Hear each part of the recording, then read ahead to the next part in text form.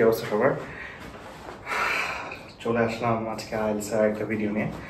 অনেকেই কমেন্ট বক্সে লিখেছিলেন যে আইএলস রাইটিং টাস্ক টু নিয়ে একটা ভিডিও বানাতে। তো আমরা আজকে টাস্ক টু নিয়ে কথা বলব।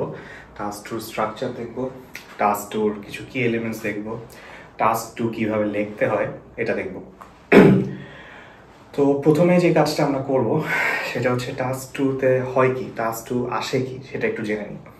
তো টাস্ক টু যেটা টাস্ক টুতে আপনাকে একটা এসে লিখতে হয়।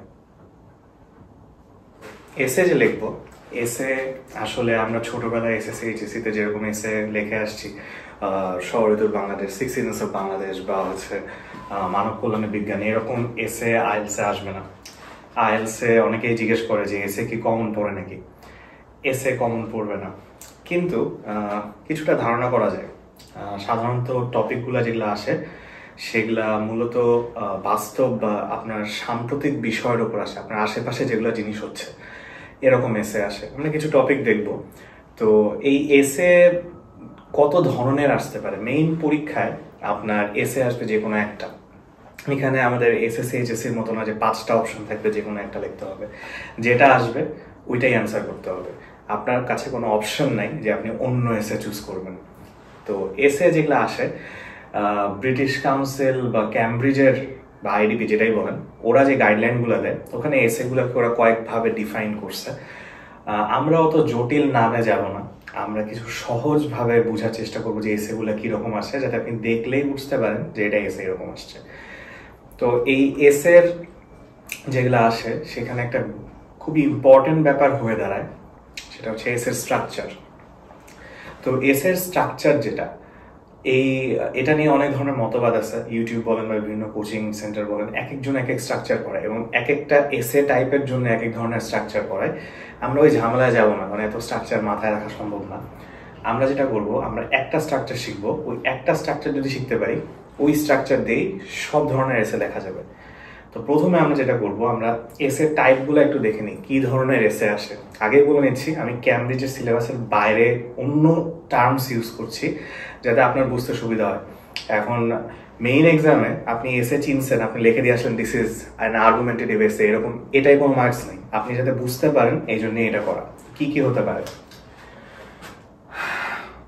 প্রথম যেটা হতে পারে, সেটা হচ্ছে অ্যাগ্রি ডিসএগ্রি এরপর আসতে পারে অ্যাডভান্টেজ ডিসঅ্যাডভান্টেজ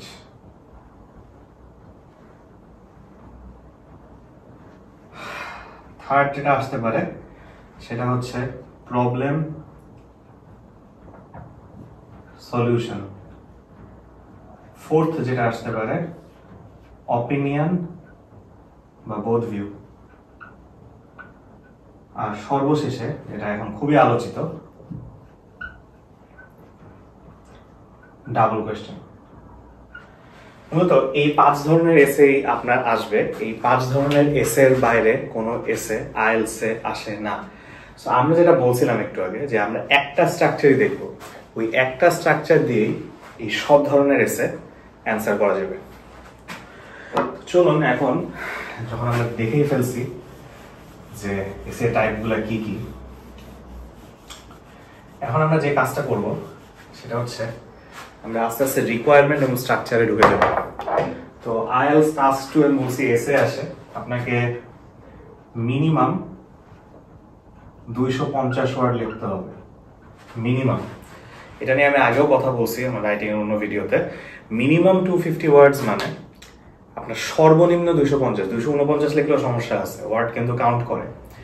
আপনি মিনিমাম দুইশো পঞ্চাশ ওয়ার্ড লিখবেন, এর বেশি যত ইচ্ছা লেখেন সমস্যা নাই।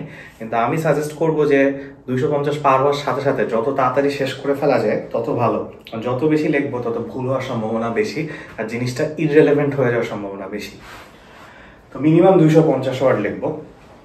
এখন আমরা দেখব যে কোন স্ট্রাকচার ফলো করলে কি করলে সব ধরনের এসেই অ্যান্সার করা যায়।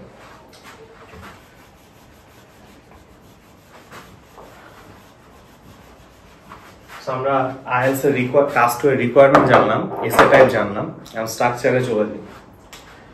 প্রথমেই আমরা যেটা লিখব, এটা হচ্ছে একটা ইন্ট্রোডাকশন ঠিক আছে? এরপর আমরা যাব বডিতে শেষে থাকবে একটা কনক্লুশন তো ইন্ট্রো বডি কনক্লুশন একটা টিপিক্যাল যেভাবে আমরা ছোটবেলায় এসে লিখে আসছি, ওইভাবেই। তো এর ভিতরে কীভাবে ভাগ হবে? ইন্ট্রো যেটা আমরা লিখব ইন্ট্রো আমাদের দুই থেকে তিন সেন্টেন্স লিখলেই হবে। এর বেশি লেখা লাগে না। ঠিক আছে? Two to three sentences body যখন যাব বডিতে আমরা দুই থেকে তিন প্যারাগ্রাফ লিখব। অ্যান্ড এই দুই থেকে তিন প্যারাগ্রাফ, প্রত্যেকটা প্যারাগ্রাফ চার থেকে ছয় সেন্টেন্সেস লিখব। কনক্লুশনের বেলায়ও দুই থেকে তিন সেন্টেন্স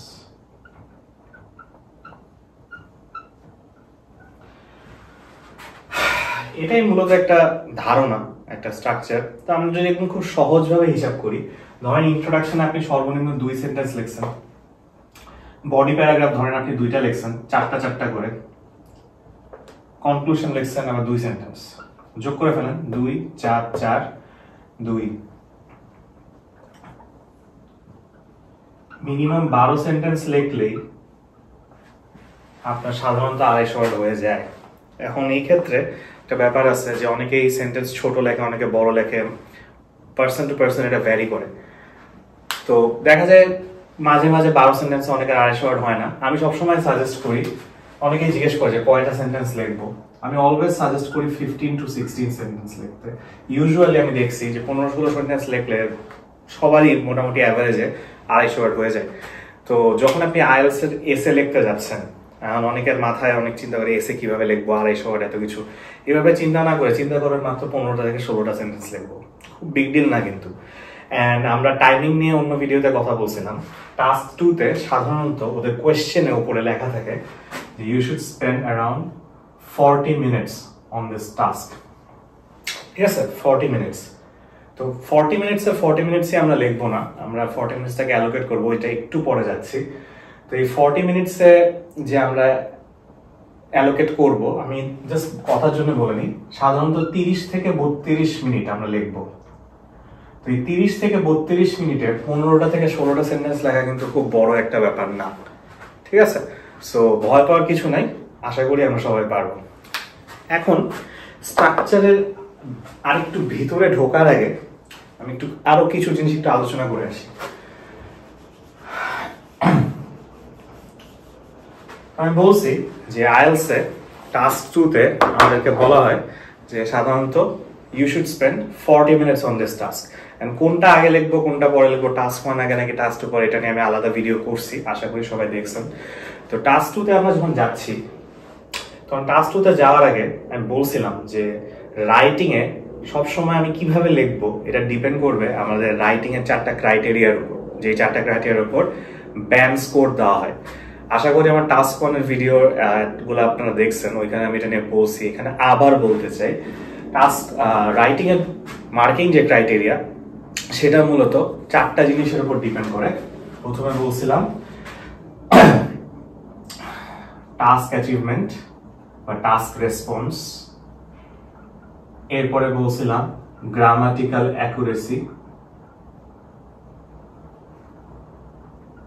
এরপরে and range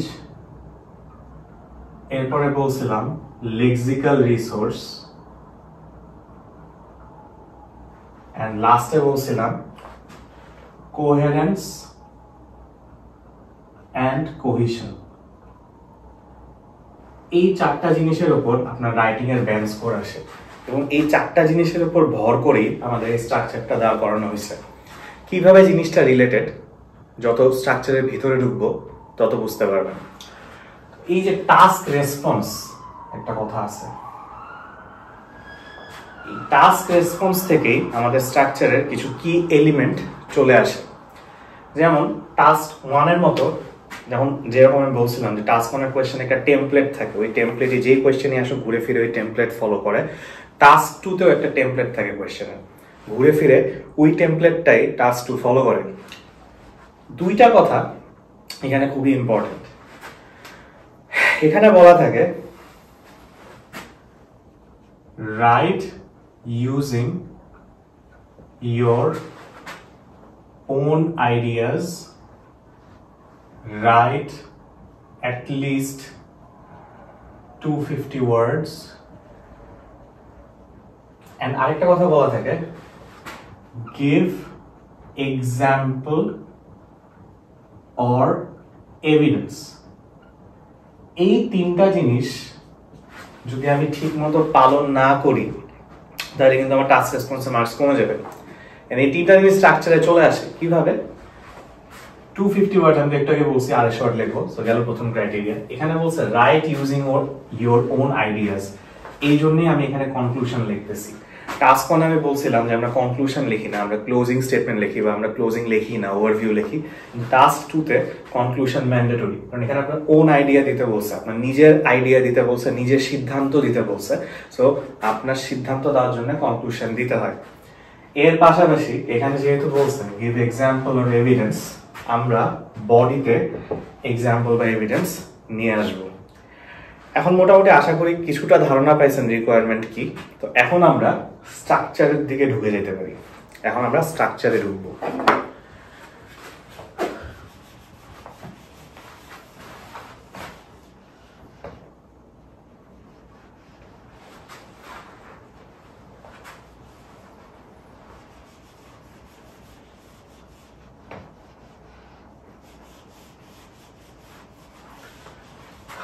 one by one যাই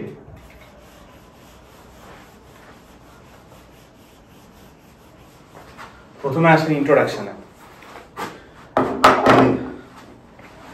ইন্ট্রোডাকশন যখন লিখব, আমি সাধারণত রাইটিং টাস্ক টুর ইন্ট্রোডাকশন তিন ভাবে লিখি যেটা আপনার ভালো লাগে। এটা আসলে পার্সোনাল প্রেফারেন্স এক একজন এক একভাবে পছন্দ করে। আমি আপনাকে জাস্ট স্পট দেখাচ্ছি, আপনি কোন পথে হাঁটবেন it's up to you so introduction আমি তিন ভাবে লিখি। একটা হচ্ছে এসওআর প্যারাফ্রেজ সেকেন্ডটা হচ্ছে ইন্টেরোগেটিভ থার্ডটা হচ্ছে general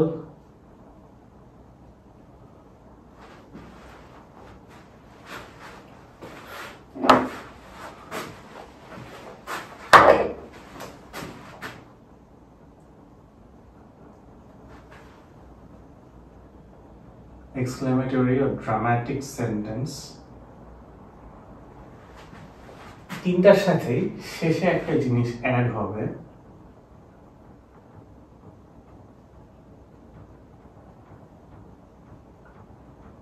হয়ে গেল আমাদের ইন্ট্রোর তিনটা ভ্যারিয়েন্ট এখন তিনটে এক করে ফেলব না যে কোনো একটা ফলো করব। অনেকে মিক্স অ্যান্ড ম্যাচ করে, এটার একটু এলিমেন্টেড একটা এলিমেন্ট নেয় ওটা সমস্যা নেই। এই তিনটা আলাদা যদি জেনে যাই, আপনি পরে ওইটাও করতে পারবেন ইটস আপ টু ইউ তো, এই জিনিসগুলো একটু এক্সপ্লেন করি। আমি উপরে একটা কথা লিখছি এসওআর যারা আমার টাস্ক ওয়ানের ভিডিও দেখছেন, তারা হয়তো জানেন এসওআর জিনিসটা কি, আমরা ডিসকাস করছিলাম। এসওআর হচ্ছে সাবজেক্ট অফ রিপোর্টিং এই সাবজেক্ট অফ রিপোর্টিং এটা আমি টাস্ক ওয়ানে বলছিলাম, যে কোয়েশ্চেনে একটা লাইন লেখা থাকবে কোয়েশ্চেনের মধ্যে, ওই টেমপ্লেট যেটা বলছি, ওখানে একটা লাইন লেখা থাকে। মাঝে মাঝে এক বা দুই সেন্টেন্স থাকে। ওই সেন্টেন্স দ্বারা বোঝা যায় যে আপনার কোয়েশ্চেনটা কি নিয়ে, আপনার এসেটা কি নিয়ে। ওই সেন্টেন্সটা হুবহু তুলে দিতে পারব না, তাহলে এটাকে প্লেজারিজম ধরা হয়। ওটাকে আমরা একটু প্যারাফ্রেস করব। এটা হচ্ছে সবচেয়ে ইজিয়েস্ট ওয়ে আপনি এসওআরটাকে একটু প্যারাফ্রেস করবেন। সাথে থিসিস স্টেটমেন্ট থিসিস স্টেটমেন্টকে আমি একটু পরে আসতেছি। আরেকটা ওয়ে হচ্ছে ইন্টারোগেটিভ সেন্টেন্স দেওয়া। এখন অনেকে বলে যে এটা অনেকে কেটেও দেয়, অনেক কোচিং সেন্টার বা অনেক জায়গায় অনেকে না করে। বলে যে ইন্টারোগেটিভ সেন্টেন্স এস এর মধ্যে ইন্টারোগেটিভ কোয়েশ্চেন দিয়ে দিব, এটা তো মানে কেমন, তাই না? আমরা এরকম দেখিনি কিন্তু আপনারা যদি একটু কিছু নিউজ পেপারের এডিটরদের আর্টিকেল দেখেন বা এডিটোরিয়ালগুলো পড়েন, ওখানে দেখবেন যে অনেকেই এইভাবে একটা এটাকে হুক বলে, লেখায় হুক একটা কোয়েশ্চেন দিয়ে শুরু করে। সহজভাবে বলি যদি মনে করেন ফেসবুক ব্রাউজ করতেছেন বা স্ক্রোল করতেছেন অনেক কিছুই তো চোখে পড়ে লাইক দিয়ে রিয়াক্ট দিয়ে চলে যান কমেন্টও করেন না, দেখেনও না। হঠাৎ করে বলল, এ একই করল সাকিব খান? একটা কোয়েশ্চেন ছিল। এ একই করল নুসরাত ফারিয়া? একই করল প্রিন্স মামুন? এ একই করল ব্লু ফেরি লায়লা? এই এই কোয়েশ্চেনটা দেখে আপনার হয়তো ইন্টারেস্ট ছিল না, কিন্তু কোয়েশ্চেনটা দেখে আপনি ইন্টারেস্ট হয়েছেন, আপনি লিঙ্কে ক্লিক করছেন। ঠিক আছে? এই যে আপনার ইন্টারেস্টটা জাগায় দিল একটা কোয়েশ্চেন এই এই কনসেপ্টটাই এখানে ইউজ করা হয়। ইনডেরিভেটিভ সেন্টেন্স আমি এটা একটা অ্যাডভান্টেজ হচ্ছে। আমরা চারটা ক্রাইটেরিয়া একটু আগে দেখছি। ওইখানে একটা কথা লেখা ছিল গ্রামাটিক্যাল রেঞ্জ তো গ্রামাটিক্যাল রেঞ্জ এই প্রত্যেকটা ক্রাইটেরিয়া কীভাবে মার্কস বাড়ানো যায়, এটা নিয়ে আমি সেপারেট ভিডিও বানাবো বাট এটা রেলেভেন্ট দেখে বলতেছি। আপনি ইন্টারোগেটিভ সেন্টেন্স ইউজ করছেন, তার মানে আপনি একটা নতুন টাইপ নতুন ধরনের সেন্টেন্স ইউজ করছেন। সো আপনার গ্রামাটিক্যাল রেঞ্জে মার্কস অটোমেটিক্যালি বেড়ে যাবে। ঠিক আছে? এই কোয়েশ্চেন কীভাবে করে? আমরা একটু পরে এক্সাম্পল দিয়ে দেখব এটা আরেকটা ওয়ে সরি থার্ড যে ওয়েটা সেটা হচ্ছে একটা স্টেটমেন্ট দিয়ে শুরু করা। এখন, এই যে স্টেটমেন্ট দিয়ে আমরা শুরু করি, এই স্টেটমেন্ট বিভিন্ন ধরনের হইতে পারে। জেনারেল স্টেটমেন্ট হইতে পারে, যেটা সার্বজনীন সবাই জানি টপিকটার ব্যাপারে, বা এক্সক্লেমেটরি সেন্টেন্সও হইতে পারে। এইভাবে লেখা একটু কষ্ট, কিন্তু এটা ওই সেম কনসেপ্টই আপনার যেভাবে আমরা একটু আগে ইন্টারভেটিভ সেন্টেন্সের কথা বললাম। এক্সক্লেমেটরি সেন্টেন্সের ব্যাপারটাও সেরকম, ওইভাবে শুরু করা যায়। অথবা একটা ড্রামাটিক সেন্টেন্স যা আমার স্পিকিং এর ভিডিও দেখবেন, ওইখানেও এটা ইউজ করা যায়। বারবার আমি একটা কথা বলি যে রাইটিং টাস্ক টু এর সাথে স্পিকিং এর specially part two and part থ্রির অনেক মিল আছে। এগুলো আমি স্পিকিং ক্লাসের এই ক্লাসে একসাথে দেখলে আপনি বুঝতে পারবেন। ওইখানেও এই জিনিসটা খাটানো যায়। যেভাবেই লিখি, শেষে একটা থিসি স্টেটমেন্ট লিখতে হবে।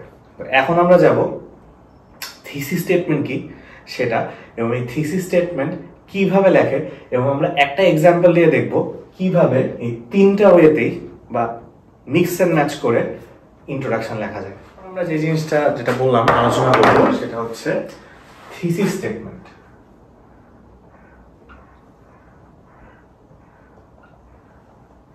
দেখেন রাইটিং এ আমি আগেও বলছি যে অনেক ধরনের স্ট্রাকচার আছে। অনেকে অনেক ধরনের স্ট্রাকচার পড়ায়, কিছু ভালো, কিছু খারাপ। তো যত ভালো স্ট্রাকচারই আমি দেখছি, সবাই একটা জিনিস ইউজ করে, সেটা থিসিস স্টেটমেন্ট তো কেন এই থিসিস স্টেটমেন্ট জিনিসটা ইউজ করে? জিনিসটা আসলে কি? সো একটা সহজ এক্সাম্পল দিই। আপনারা হয়তো অনেকে ফুটবল খেলা দেখেন বা ক্রিকেট খেলা দেখেন। তো একটা ফুটবল খেলা কতক্ষণ হয়? নব্বই মিনিট। সাধারণত। ক্রিকেট খেলা টোয়েন্টি টোয়েন্টি হলে চার পাঁচ ঘণ্টা ওয়ান ডে হলে নয় দশ ঘণ্টা। এত সময় কার আছে বলেন? তো আমরা অনেকেই যেটা করি আমরা হাইলাইটস দেখি। তো এই হাইলাইটস কতক্ষণ হয়? পাঁচ মিনিট, ফুটবল হোক ক্রিকেট হোক, দশ মিনিট, পাঁচ মিনিট।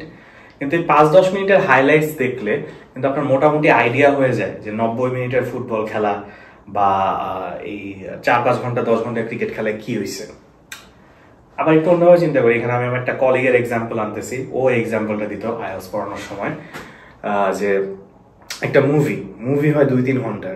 ট্রেইলার হয় এক, দুই মিনিট। এক দুই মিনিটেই কিন্তু পুরোপুরি বুঝে ফেলা যায় যে মুভিতে কি আছে।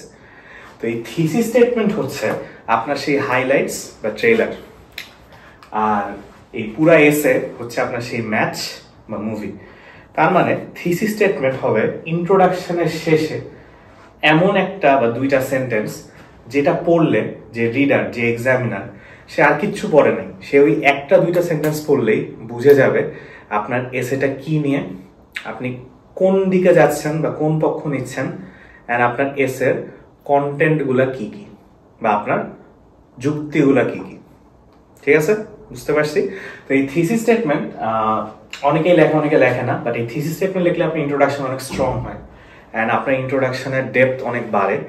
সো আপনি যদি এই স্টাইলে লেখেন এক্সামিনার যেটা করবে, প্রত্যেকটা বডি প্যারাগ্রাফে যাওয়ার আগে, ও থিসি স্টেটমেন্ট আগে পড়ে নিবে, পড়ে দেখবে বডির সাথে মিল আছে নাকি। এই কানেকশনটা আমরা আবার, এই এই জায়গায় আমরা একটু পরে আবার আসব। সো যখনও দেখবে যে ইন্ট্রোডাকশনের এই শেষের সাথে বডির ও ডিরেক্ট কানেকশন পাচ্ছে, সাথে সাথে আপনার ব্যান্স স্কোর অনেক বেড়ে যাবে। এই জিনিসটাই আপনার, আমরা একটু আগে চারটা ক্রাইটেরিয়া বলছিলাম রাইটিং এর। ওখানে একটা পয়েন্ট ছিল কোহেরেন্স অ্যান্ড কোহিশন এই থিসিস স্টেটমেন্ট যদি প্রপারলি লিখতে পারেন এন্ড বডির সাথে কানেকশন করতে পারেন, তাহলে কোহেরেন্স এন্ড কোহিশনে অটোমেটিক্যালি মার্কস অনেক বেড়ে যায়। আর এই থিসিস স্টেটমেন্ট অনেকেই লেখে লেখাটা একটু নতুন আপনাদের কাছে, আমরা আগে এইভাবে চিন্তা করি নাই, কিন্তু একবার বুঝতে পারলে জিনিসটা খুবই ইজি তো এই থিসিস স্টেটমেন্টে মূলত যে জিনিসগুলো থাকতে হবে, সেটা হচ্ছে আপনার সাইডস বা অপিনিয়ন যেটা আপনি নিছেন, আপনার পয়েন্টস এই পয়েন্টস জিনিসটা কি? আমরা একটু পরে আসব। অ্যান্ড কোয়েশ্চেন রিফ্লেকশন মানে এসেটা কি নিয়ে? সেটার একটা রিফ্লেকশন আপনি দিচ্ছেন এই জিনিসটা কি? আমি একটা এক্সাম্পল দিলেই আমরা কানেক্ট করতে পারব।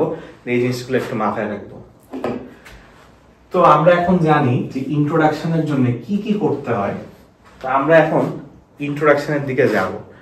তার আগে আমি এখানে একটা কথা বলছি পয়েন্টস পয়েন্টসটা কি? এটার সাথে আমি আরেকটা জিনিস একটু লিঙ্ক করতে চাই। একটু আগে বলছিলাম যে আমরা লিখব, চল্লিশ মিনিট আমাদেরকে বলছে সময়, কিন্তু আমরা লিখব তিরিশ মিনিট থেকে বত্রিশ মিনিট মতো। তো বাকি এই আট দশ মিনিট কি করব? তাই না? প্রশ্ন আসতেই পারে। তো আসেন, আমরা যখন কোয়েশ্চেনটা হাতে পাইছি, যেই ভুলটা ম্যাক্সিমাম স্টুডেন্টরা করে, সেটা হচ্ছে তাদের মধ্যে মাথায় একটা জিনিস কাজ করে, চল্লিশ মিনিট এসে শেষ করতে হবে, সময় নাই। কোয়েশ্চেন পাইছে, আল্লাহর নামে লেখা শুরু। এইভাবে লিখতে যে যেটা হয়, কোনো চিন্তা ভাবনা না করে লেখা শুরু করে অ্যান্ড হাফ ওয়েতে যে দেখা যায় যে you are out of ideas আপনার মাথায় নতুন কিছু আসতেছে না, কিন্তু আপনার আড়াইশো বার তো ফুলফিল করতে হবে। সো দেখা যায় যে একই জিনিস বারবার লেখা শুরু হয় অ্যান্ড আইডিয়ার বাইরে লেখার কারণে ইনরেলেভেন্ট হয়ে যায় এবং কোহেরেন্স কোহেশনে মার্কস কমে যায়। এই জিনিসটা দূর করার জন্য আমাদের এসেটা হাতে পেয়ে একটা জিনিস করতে হবে। এখন আমি যেহেতু হায়ার সেখানে অনলাইন পড়াইতেছি, যদি সহজ বাংলায় বলি যে আপনাকে একটু ভাবতে হবে, চিন্তা করতে হবে, জিনিসটা অত ফ্যান্সি লাগে না। তো এই জিনিসটাকে যদি আমি এইভাবে বলি যে আপনাকে একটু ব্রেইন স্টর্মিং করতে হবে, তখন কিন্তু জিনিসটা শুনতে খুব ফ্যান্সি লাগে। ব্রেইন স্টর্মিং ওয়ার্ডটা খুব ভারী একটা ওয়ার্ড এটা থেকে ভয় পাওয়ার কিছু নাই। ব্রেইন স্টর্মিং মানে সহজ কথা, আপনাকে একটু চিন্তা করতে হবে, আপনাকে একটু ভাবতে হবে। তো কি ভাববো? মানে ভাবার কি এলো? সো আমাদের যে স্ট্রাকচারটা আমাদের এই স্ট্রাকচারে আপনি যখন ব্রেইন স্টর্মিং করবেন কোনো একটা টপিক পে বেশি না, আপনাকে বেসিক্যালি আইডিয়া জেনারেট করতে হয় তো আমি সবসময় বলছি যে আমরা যে স্ট্রাকচারটা করছি যদি রেলেভেন্ট থাকতে চাই বেশি কিছু লেখা লাগে না। বারো, পনেরো, ষোলো সেন্টেন্স একটু আগে দেখাইছি।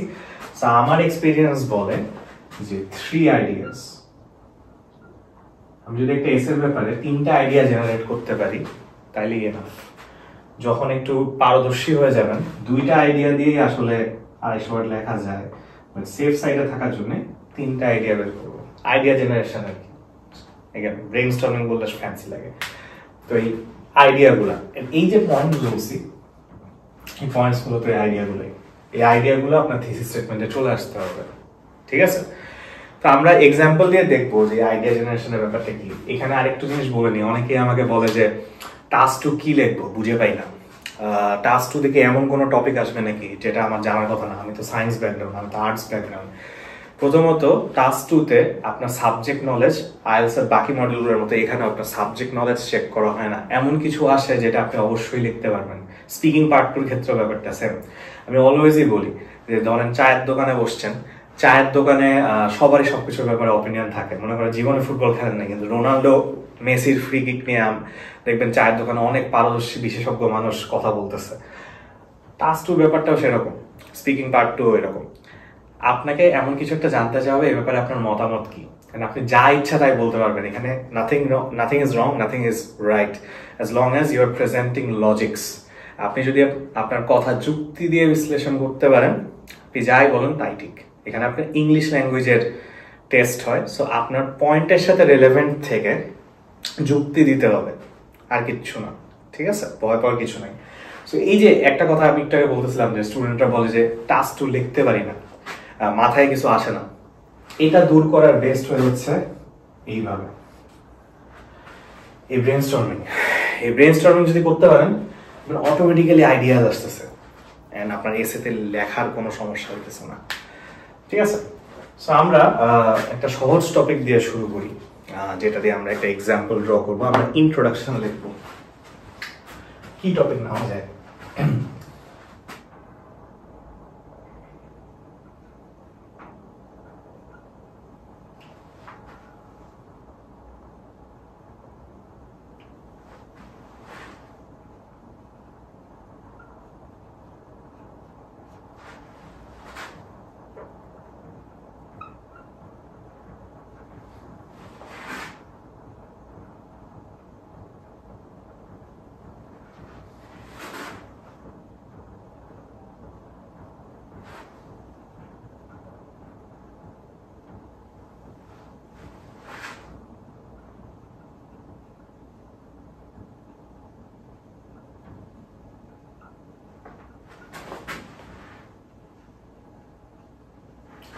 আপনার কাছে এরকম একটা কোয়েশ্চেন আসছে।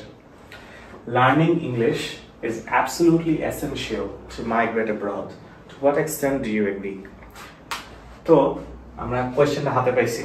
বাকি জিনিস ওই টেমপ্লেটের মতো লেখা গেছে ঠিক আছে? সো এখানে আমরা যদি ফার্স্ট এটা দেখতে হবে এসওআর কি? একটু আগে বলছিলাম এসওআর এটা হচ্ছে এসওআর এটা দিয়ে বোঝা যাচ্ছে যে আপনার মূল টপিকটা কি? মূল টপিকটা কি? যে ইংলিশ শেখাটা দরকার কি দরকার না? এখানে দেখেন কোয়েশ্চেনে বলছে to what extent do you agree তো আমরা যখন এসে টাইপগুলো ফার্স্টে লিখছিলাম এখানে একটা কথা ছিল এগ্রি বা ডিসএগ্রি এটা ওই ধরনের এসে সাধারণত এই যে এগ্রি ডিসএগ্রির যে এসে গুলা এটা শেষে এই ধরনের একটা কথা থাকে। To what extent do you agree to what extent do you disagree to what extent do agree or disagree to what extent এটার মানে কি? আপনি কতখানি এগ্রি করেন? এরকম ওপেন এন্ডেড যখন কোয়েশ্চেন থাকবে, ঠিক আছে? এই ওপেন এন্ডেড যখন কোয়েশ্চেন থাকবে, আপনি ইদার এগ্রিও করতে পারেন ডিসএগ্রিও করতে পারেন, বা দুইটার মাঝখানেও থাকতে পারেন। কারণ আপনাকে বলছে টু হোয়াট এক্সটেন্ট আপনি এগ্রিও করতে পারেন, আপনি ডিসএগ্রিও করতে পারেন, আপনি মাঝখানেও থাকতে পারেন। যদি এই কোয়েশ্চেনের শেষে আপনাকে বলে দিত ডিসকাস বোথ ভিউজ তাইলে কিন্তু যে আমরা এগ্রি ডিসএগ্রির পাশাপাশি আরেকটা এসে দেখছিলাম বোথ ভিউ ওটার সাথে মিলে যায়। সেই ক্ষেত্রে আপনার এগ্রি নিয়েও লিখতে হবে ডিসএগ্রিও লিখতে হবে। আপনি এক পক্ষ চুজ করতে পারবেন না, কারণ আপনার কোয়েশ্চেনে বলে দিচ্ছে এটা টাস্ক রেসপন্সের অংশ। আপনি যদি কোয়েশ্চেন না বুঝেন, আপনার কিন্তু মার্কস চলে যাবে। তো আমরা আস্তে আস্তে ওদিকে যাব বাট মানে আলোচনার সুবিধার্থে আমরা সহজটা দিয়ে শুরু করি। আমরা to what extent do you agree দিকেই থাকি? তো to what extent do you agree তো একবারে এক ঢিলেই দুই পাখি মেরে দিই, তো আমরা শুধু এগ্রি বা শুধু ডিসএগ্রি নিয়ে না, চিন্তা না করে মাঝখান দিয়ে চিন্তা করি। সো এটা আপনার ফার্স্ট কাজ। আপনি কোয়েশ্চেনটা পাইছেন কোয়েশ্চেনটা পড়ছেন সাবজেক্ট অফ রিপোর্টিং বুঝছেন। এখন কিন্তু ওই যে আপনার হাতে ওই আট মিনিট, পাঁচ থেকে আট মিনিট, কি করতে হবে? ব্রেইন স্টর্মিং ব্রেইন স্টর্মিং এর প্রথম কাজই হচ্ছে যেটা বললাম, যে আপনি সাইট চুজ করছেন। তো আমরা এখানে কি চুজ করছি? আমরা মাঝামাঝি থাকব, আমরা এগ্রিও করব না ডিসএগ্রিও করব না। তা আমাদের টোটাল কি বলছিলাম? তিনটা আইডিয়া লাগবে। মিনিমাম তিনটা আইডিয়া যদি থাকে, আড়াইশো বার ইজি লিখতে হবে, ঠিক আছে? তিনটা আইডিয়া তো এখন অনেকে বলে যে তিনটা আইডিয়া তাহলে কি এগ্রি দুইটা ডিসএগ্রি একটা, নাকি ডিসএগ্রি দুইটা এগ্রি একটা, কি করব? এটা পুরোপুরি আপনার ওপর কোনো সমস্যা নেই। টু হোয়াট এক্সটেন্ট বলছে? আপনি যেদিকেই যাইতে চান। আপনার মাথায় যে আইডিয়াগুলো আসবে, সেগুলো নিয়ে লিখব। খালি মাথায় রাখবেন, অনেক সময় দেখা যায় তিনটার বেশি আইডিয়া চলে আসে টপিকটা বেশি ফ্যামিলিয়ার হইলে আপনার সাথে অনেক আইডিয়া আসা শুরু করে। সব সময় তিনটা আইডিয়ার বেশি না লেখাই ভালো। আমি দেখছি যে তিনটা আইডিয়ার চেয়ে বেশি নিয়ে লেখলে তিনশো ওয়ার্ড পার হয়ে যায়। আর আমি সবসময় বলি যে আইডিয়াগুলো যখন ভাববেন, আপনি সবসময় চিন্তা করবেন। আমরা একটু আগে বডি নিয়ে কথা বলছিলাম। বলছিলাম বডিতে প্রত্যেকটা প্যারাগ্রাফ চার থেকে ছয় সেন্টেন্স হবে। আপনি জাস্ট মাথায় রাখবেন যে আইডিয়া যেটা আমি জেনারেট করতেছি, এটা নিয়ে আমি কি বডির চার থেকে ছয় সেন্টেন্স লিখতে পারব নাকি? তাইলেই হবে। আমরা এটাই আপাতত যাই বডি নিয়ে সেপারেট দেখাবো যে বডি কীভাবে লেখে। তো তিনটা আইডিয়া ঠিক আছে? সো আমরা যদি একদিক দিকে চিন্তা করি, তো একদিক দিকে আপনার পয়েন্টটা কীরকম হতে পারে? যে হ্যাঁ মানে এই পয়েন্টগুলো কিন্তু আমরা খাতায় লিখব না, পরীক্ষার খাতায় লিখবেন না। আপনি পরীক্ষার কোয়েশ্চেন যখন পাবেন, পিছের এক দুই পেজ ফাঁকা থাকে ওটা আপনার রাফ করার জন্যই। ওটা আপনি যা ইচ্ছা লিখতে পারেন, ওটা এক্সামিনার দেখবে না, ওটা আপনার রাফ করার জন্যই দেওয়া হয়েছে। তো ওইখানে আপনি এই আইডিয়াগুলো লিখবেন। তো এই আইডিয়াগুলো মূলত যাতে আপনি আপনার মতো করে লিখবেন, এখানে এত ভাবার কিছু নেই। সেন্টেন্স লেখা লাগবে না, এটা আপনি রাফ করতেছেন। প্রথম যেটা, যে লার্নিং ইংলিশ কেন অ্যাবসলিউটলি এসেনশিয়াল প্রথমত কি? কি আইডিয়া দেওয়া যায়? আমরা সবাই একটা জিনিস জানি যে ইংলিশ একটা ইন্টারন্যাশনাল ল্যাঙ্গুয়েজ এটার মানে গ্লোবালি অ্যাকসেপ্টেড তাই তো? আমরা এরকম একটা পয়েন্ট দিলাম ইন্টারন্যাশনাল ল্যাঙ্গুয়েজ চেষ্টা করব যে আরেকটু, যেহেতু কেন ইন্টারন্যাশনাল এটার সুবিধা কি, এটা একটু লেখা রাখলাম। যে গ্লোবালি অ্যাকসেপ্টেড ঠিক আছে? এটা আমার প্রথম একটা ইয়ে গেল। যে ইন্টারন্যাশনাল ল্যাঙ্গুয়েজ এটা গ্লোবালি অ্যাকসেপ্টেড ঠিক আছে? এটা গেল প্রথম পয়েন্ট সেকেন্ড পয়েন্টে যদি যাই, তো আমরা চিন্তা করে দেখেন। আপনার, আপনাদের কথাই চিন্তা করেন। এই যে আইএলস এর ক্লাস দেখতেছেন আইএলস পড়তেছেন প্রিপারেশন নিচ্ছেন আইএলস দিবেন। কেন দিচ্ছেন? কি কি দরকার আইএলসটা করার? আপনি স্টুডেন্ট ভিসায় যান বা আপনি যে ভিসায় যান, আপনার দেখা যায় most cases in fact in every cases visa যদি পাইতে চান আপনার আইএলস ডুওলিঙ্গো টোফেল পিটি যেটাই হোক, একটা ইংলিশ অ্যাসেসমেন্ট টেস্ট দিতে হয়। তার মানে কি? এটা একটা মাইগ্রেশনের রিকোয়ারমেন্ট আমাদের এটাই পয়েন্ট হতে পারে। দেখেন আইডিয়াগুলো কিন্তু আপনার লাইফের সাথেই জড়িত। ইংলিশ ইন্টারন্যাশনাল ল্যাঙ্গুয়েজ এটা আপনি জানতেন। আইএলস আপনি করতেছেন, কীভাবে জানেন কারণ এটা আপনার রিকোয়ারমেন্ট ঠিক আছে আমরা ওইটাই লিখি।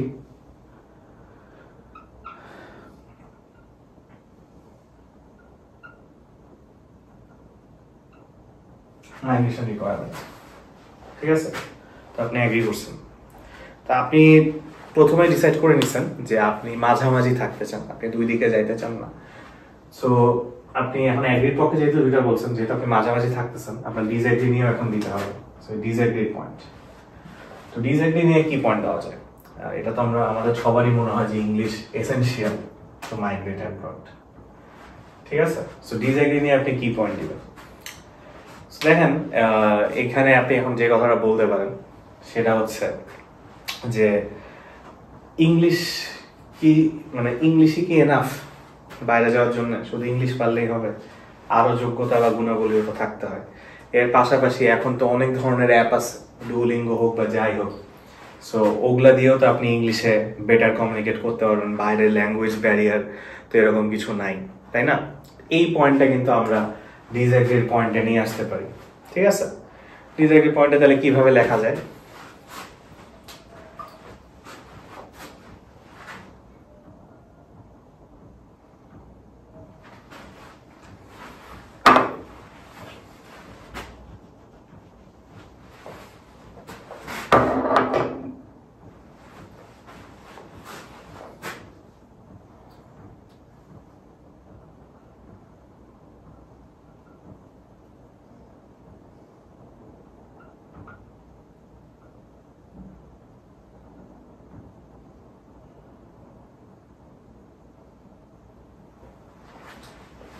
Using other methods to communicate মানে এই যে ডুওলিঙ্গো বা এই যে বিভিন্ন অ্যাপগুলো যেগুলো আছে, ওগুলোর সাহায্যে যে আমরা বলি।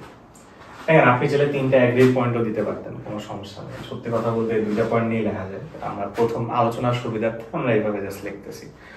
তো আমাদের পয়েন্ট রেডি সব কিছু রেডি ঠিক আছে? কতক্ষণ লাগল? চার, পাঁচ মিনিট? যখন এইভাবে চিন্তা ভাবনা করা শুরু করবেন, দেখবেন আইডিয়া জেনারেট করতে দুই মিনিটও লাগে না। যে তা আমরা এখন ইন্ট্রো লিখব। ইন্ট্রো আমরা বলছিলাম তিন ভাবে লেখা যায়।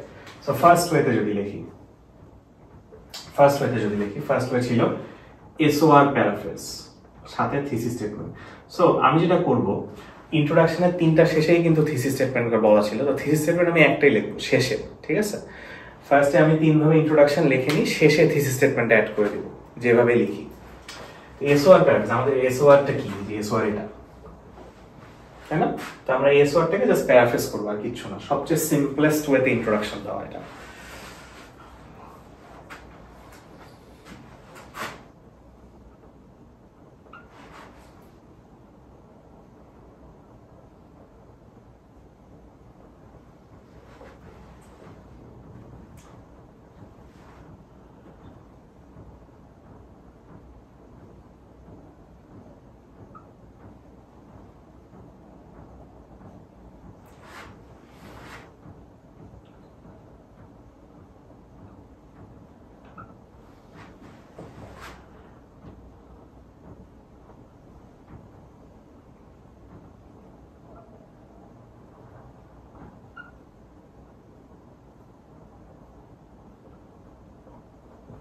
দেখেন মিনিং কিন্তু এই সেন্টেন্সে আমি, এটাই লিখছি, খালি আমি প্যারাফ্রেজিং করে ফেলছি। To have competency in English is truly necessary to settle in a foreign country.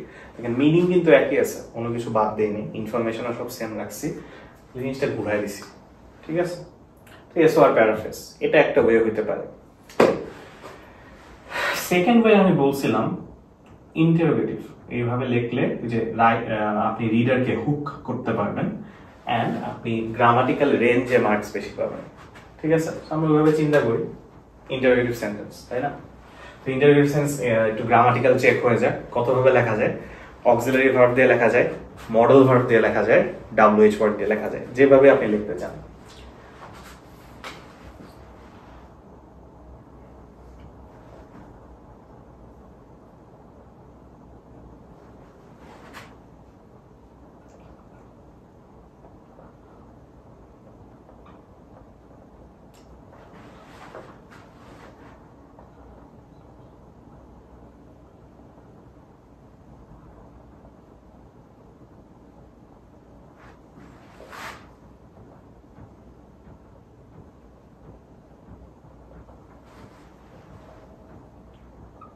So, in WH part দিয়ে লিখছি how important is English proficiency to migrate abroad?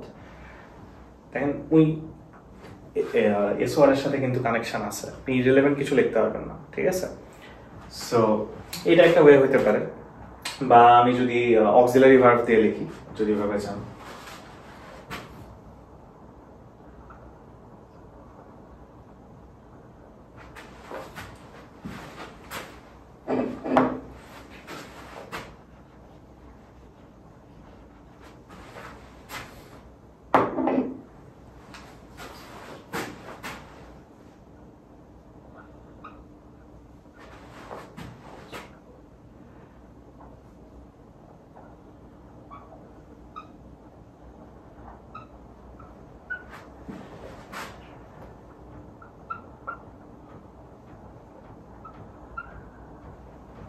এভাবে লিখতে পারেন is master in English mandatory to journey abroad আপনি যেভাবে শুরু করেন, সমস্যা নেই। ঠিক আছে? ইন্টারোগেটিভ সেন্টেন্স দিয়ে শুরু করবেন। ঠিক আছে? এটা সেকেন্ড ওয়ে আমরা বলছিলাম তিনটা ওয়ে দেখাবো। তো থার্ড ওয়েতে যাই। মুছে ফেললাম।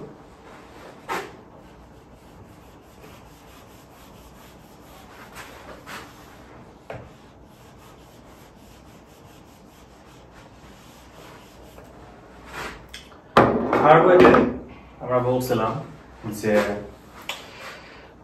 আমরা একটা স্টেটমেন্ট দিয়ে শুরু করব, তাই না? একটা স্টেটমেন্ট দিয়ে শুরু করব।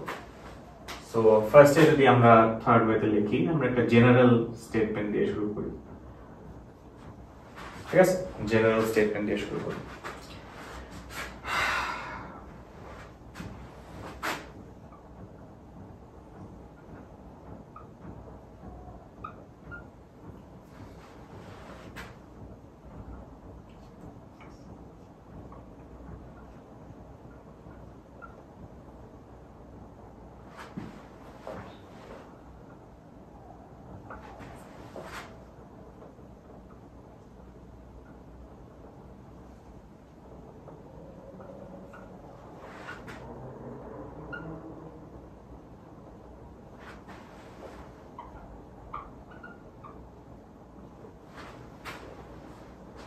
ঠিক আছে? জেনারেল স্টেটমেন্ট যেটা আমরা সবাই জানি। আর আমরা আরেকটা জিনিস শিখছিলাম যে ড্রামাটিক বা এক্সক্লামেটরি স্টাইল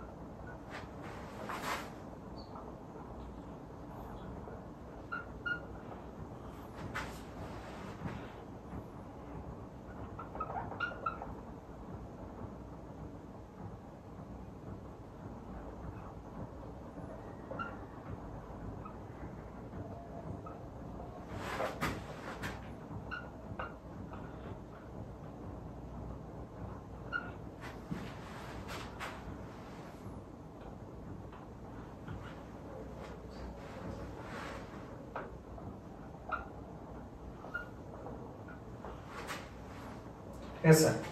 সো একটু বেটার ওয়ার্ডস একটু ড্রামাটিক ভাবে, একটু ফিলোসফিক্যাল ভাবে জিনিসটাকে অ্যাপ্রোচ করা মতো ড্রামাটিক সেন্টেন্স আছে তো আমরা আরেকটা সেন্টেন্স বলছিলাম যে এক্সক্লামেটরি সেন্টেন্স দিয়ে শুরু করা।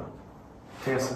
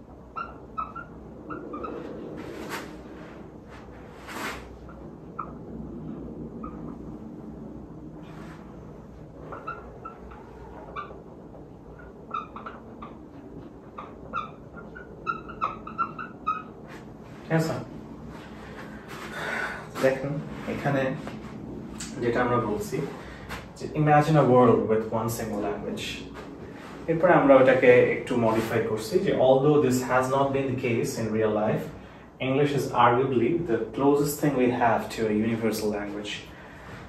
তো দেখেন, প্রত্যেকটা পয়েন্টই কিন্তু এই এসওআর এর সাথেই যাচ্ছে, কিন্তু আমরা একই টপিকে ডিফারেন্ট ডিফারেন্ট ওয়েতে ইন্ট্রোডাকশন লিখলাম এখন আপনি লেখার প্যাটার্ন এবং লেখার স্টাইল দেখে বুঝতে পারতেছেন যে একটা আরেকটা হচ্ছে ডিফারেন্ট এবং মার্কসও ডিফারেন্ট ক্যারি করবে। কিন্তু আমাদের ইন্ট্রোডাকশন কিন্তু কমপ্লিট হয়নি। আমাদের এখনও থিসিস স্টেটমেন্ট লেখা বাকি। সো আমরা এখন থিসিস স্টেটমেন্ট সো আমরা ইন্ট্রোডাকশন যেভাবেই লিখি, আমরা তিনভাবে দেখলাম। আমরা এসওআর প্যারাফ্রেজ বলেন ইন্টারোগেটিভ বলেন কোনো একটা স্টেটমেন্ট দিয়ে বলেন। যেভাবেই লিখি, এটা শেষে থিসিস স্টেটমেন্ট অ্যাড করে দিব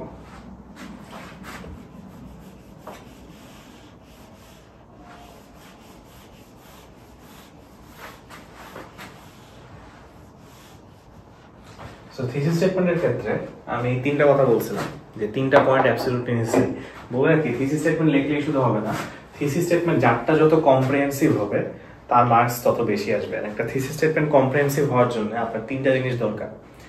আপনি কোন সাইড চুজ করছেন বা কোন পক্ষ নিচ্ছেন নাকি মাঝখান থেকে লিখতেছেন? আপনার ব্রেন স্টর্মিং করে যে আইডিয়াগুলো বের করছেন মানে এই আইডিয়াগুলো নিয়ে আপনার বডি আসবে। এবং থার্ড যে পয়েন্টটা আমরা বলছিলাম, সেটা হচ্ছে যে কোয়েশ্চেন যেটা আছে কোয়েশ্চেনটা যাতে আপনার রিডার ওই থিস স্টেটমেন্ট পড়ে কিছুটা বুঝতে পারে যে কোয়েশ্চেনটা কি হতে পারে। সো আমরা এরকম একটা থিস স্টেটমেন্ট লিখব। সো আমরা এখানে দুই পক্ষই নিছি, ঠিক আছে? দুই পক্ষই নিছি। তো যখনই এরকম দুইটা বিপরীতমুখী জিনিস আমরা লিখব, একই সাথে, সেটা অ্যাগ্রি ডিসএগ্রি হোক অ্যাডভান্টেজ ডিসঅ্যাডভান্টেজ হোক প্রবলেম সলিউশন হোক, কিছু জিনিস ইউজ করলে লেখাটা ইজি হয় থিসিস স্টেটমেন্টে কি সেগুলা? Although though while, whereas, but. On one hand, বা, and on the other hand. ঠিক আছে? এই জিনিসগুলো যখন আপনি দুই পক্ষ নিয়ে লিখবেন, এই জিনিসগুলো ইউজ করলে থিসিস স্টেটমেন্ট লেখাটা ইজি হয়। তো থিসিস স্টেটমেন্টের রিকোয়ারমেন্ট কি? এক বা দুই সেন্টেন্স লিখব এন্ড আমরা যে তিনটা ক্রাইটেরিয়া বলছি কোয়েশ্চেনের রিফ্লেকশন ব্রেন স্টর্মিং করে যে পয়েন্ট এবং আপনার ইয়ে আপনি কোন পক্ষ নিচ্ছেন সেটা আসতে হবে। তো আমরা এখানে যেহেতু এগ্রি ডিসএগ্রি দুটোই করছি, আমরা এই পাঁচটা জিনিস যেগুলো এতক্ষণ লিখলাম এটা যেগুলো ইউজ করে লিখব। সো আপনি লিখলেন on one hand on the other hand দিয়ে লিখি। ঠিক আছে?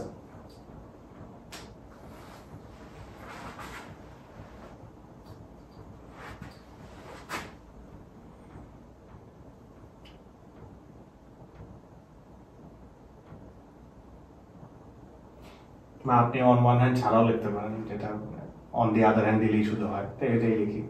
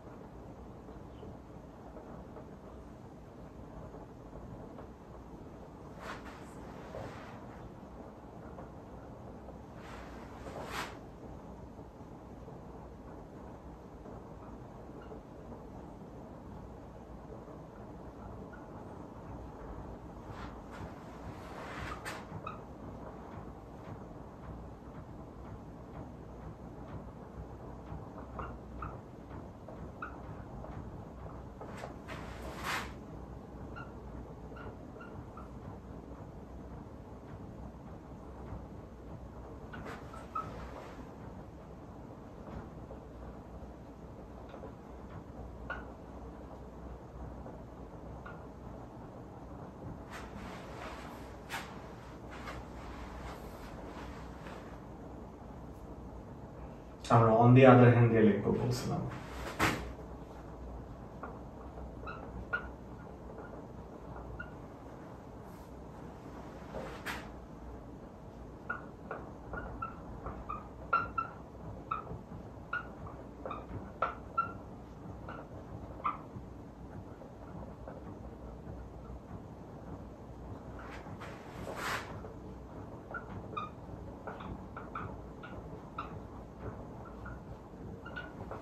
ঠিক আছে দেখেন, আমরা যে তিনটা রিকোয়ারমেন্ট বলছিলাম থিসিস স্টেটমেন্টের জিনিসগুলো আবার ফিরে আসি।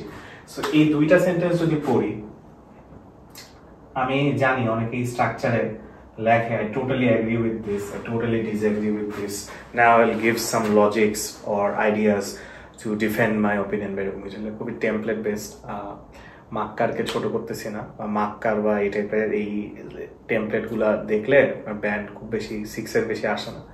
তো যারা একটু হায়ার ব্যান্ড চাই, তাদেরকে থিজি স্টেটমেন্টের দিকে যাওয়াই উচিত।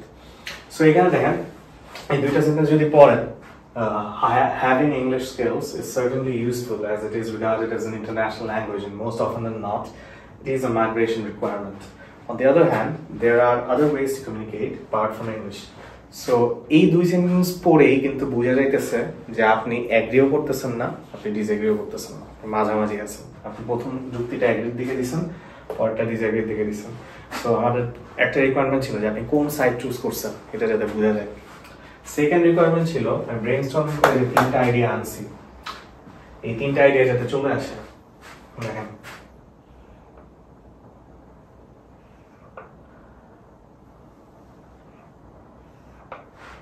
ঠিক আছে? আমাদের ওই তিনটা আইডিয়া কিন্তু চলে আসছে। থার্ড কথাটা বলছিলাম যে কোয়েশ্চেনের একটা রিফ্লেকশন থাকতে হবে। এখানে কি বলছে? Learning English is absolutely essential এখানে কি বলছে? দেখেন, একটা সেন্টেন্স দিয়ে আপনার যে এক্সামিনার সে হয়তো আপনার খাতা হাতে পাইছে।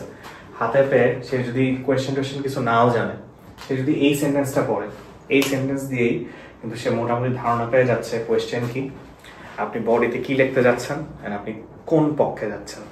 This is thesis statement so আমরা যতভাবে ইন্ট্রোডাকশন লেখা শিখছি যেভাবেই লেখেন, শেষে একদম ওই ওই প্যারাগ্রাফের মধ্যেই, ঠিক আছে? ওই প্যারাগ্রাফের মধ্যেই আমি তো আগেও বলছি যে রাইটিং এ প্যারাগ্রাফ করে করে লিখতে হয় পয়েন্ট লেখা যায় না। আপনি উপরে ইন্ট্রোডাকশন লিখে ছোটবেলার মতো লাল নীল কালি দিয়ে আন্ডারলাইন আসলে করা যাবে না। প্যারাগ্রাফে করে লিখবেন। সো ওই প্যারাগ্রাফের শেষে, একই প্যারাগ্রাফে এই, আমরা এখানে দুই সেন্টেন্স ইউজ করছি। শেষে এই থিসিস স্টেটমেন্ট লিখে দিবেন। এই হচ্ছে টাস্ক টুর ইন্ট্রোডাকশন লেখা। এখন আমরা যাব বডির দিকে।